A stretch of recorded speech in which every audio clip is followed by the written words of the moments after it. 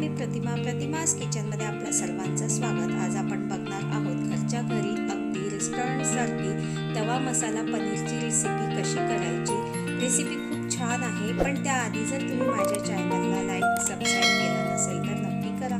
चला तर रेसिपीला सुरुवात करूया. तवा मसाला पनीर करण्यासाठी आपल्याला सर्वात आधी मॅरिनेशनची तयारी करायची आहे. त्यासाठी आपल्याला एखादी बाऊल घ्यायचा आहे आणि त्यामध्ये आपल्याला तीन ते चार चम्मच घट्ट दही घा घालून घ्यायचं आहे.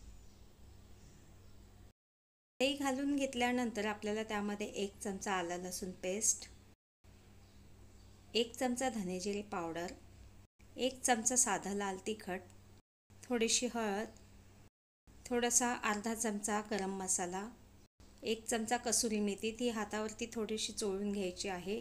पाव चमचा चाट मसाला चाट मसाल्याच्या ऐवजी तुम्ही एक चमचा लिंबाचा रस पण घालू शकता आणि चवीपुरतं मीठ आणि सर्वात शेवटी आपल्याला घालायचं आहे पाव चमचा ओवा. हे टोटली ऑप्शनल आहे.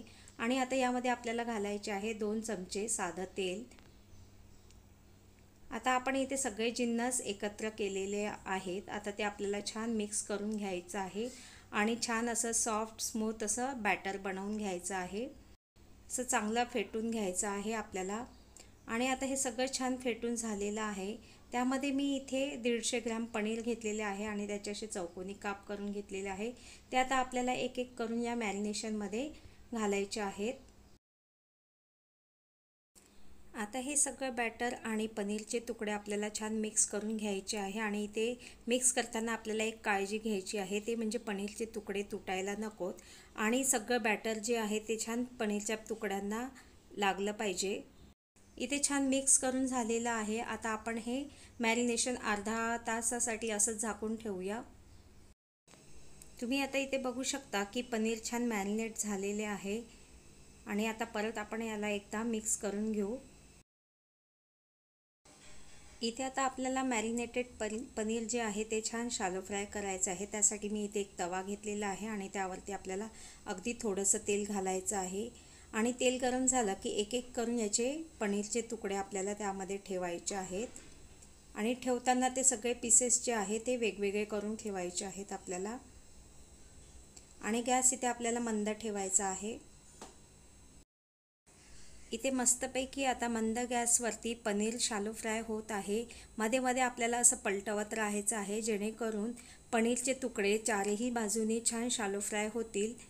आता तुम्ही इथे बघू शकता की पनीर मस्तपैकी शालो फ्राय झालेले आहे आणि आता आपल्याला इथे गॅस बंद करायचा आहे. त्यानंतर आता आपल्याला मसाला पनीर करण्यासाठी मी इथे एक पॅन घेतलेला आहे आणि त्यामध्ये आपल्याला एक ते दोन चम्मच बटर घालायचं आहे आणि एक चमचा साधं तेल घालायचं आहे. तेल आणि बटर छान गरम झालं की त्यामध्ये आपल्याला घालायचं आहे अर्धा चमचा जिरे आणि जिरे छान परतून घ्यायचं आहे त्याचा मस्त सुगंध सुटेल. इथे मी आता एक मध्यम आकाराचा कांदा बारीक चिरून घेतलेला आहे तो घालायचा आहे. आणि कांदा पण छान आपल्याला परतून घ्यायचा आहे आणि कांदा आपल्याला गोल्डन कलरचा होऊ द्यायचा आहे मंद गॅसवरती. तुम्ही इथे बघू शकता की आता कांदा छान असा सोनेरी रंगाचा झालेला आहे. आता त्यामध्ये आपल्याला घालायचं आहे एक चमचा आले लसूणची पेस्ट ते पण छान परतून घ्यायचं आहे. त्यानंतर आपल्याला घालायचं आहे एक चमचा पावभाजी मसाला थोडीशी हळद आणि मी इथे एक शिमला मिरची घेतलेली आहे. ती अशी बारीक चिरून घेतलेली आहे. ती आपण यामध्ये आता घालून घेऊ. शिमला मिरची पण आपल्याला छान परतून घ्यायची आहे दोन ते तीन मिनिट. जास्त शिजवायची नाही आहे आपल्याला. आता तुम्ही इथे बघू शकता की शिमला मिरची आपण परतून घेतलेली आहे. आता आपल्याला त्यामध्ये घालायचं आहे चवीपुरतं मीठ आणि हे सगळं आता आपल्याला एकदा परत मिक्स करून झालं की मग आपल्याला घालायचं आहे त्यामध्ये टोमॅटो प्युरी. मी इथे दोन टोमॅटोची प्युरी करून घेतलेली आहे. आणि टोमॅटो प्युरी घातल्यानंतर आपल्याला सगळं मिक्स करून घ्यायचं आहे. टोमॅटो प्युरी छान परतून झाली की आपोआपच ते थोडंसं असं आळत येईल. आणि त्यानंतर जे मॅरिनेशनचं बॅटर होतं ते मग आपल्याला यामध्ये घालून घ्यायचं आहे. त्याच्याने टेस्ट पण छान येते ग्रेव्हीला आणि कलर पण छान येतो. आणि त्यामध्ये आपल्याला अगदी थोडंसं म्हणजे एक वाटीभर पाणी घालायचं आहे. आपल्याला ही ग्रेव्ही छान मिक्स करून घ्यायची आहे. आणि त्यामध्ये आपल्याला आता शेवटी घालायचे आहे शालो फ्राय केलेले पनीरचे तुकडे. आणि आता पनीरचे तुकडे आणि ग्रेव्ही छान एकजीव करून घेतली की आपल्याला फक्त दोन ते तीन मिनिट मंद गॅसवरती होऊ द्यायचं आहे. तुम्ही इथे बघू शकता की ग्रेव्ही पण छान झालेली आहे. रंग पण खूप सुरेख दिसतो आहे. आता आपल्याला सर्वात शेवटी यामध्ये घालायचं आहे बारीक चिरलेली कोथिंबीर.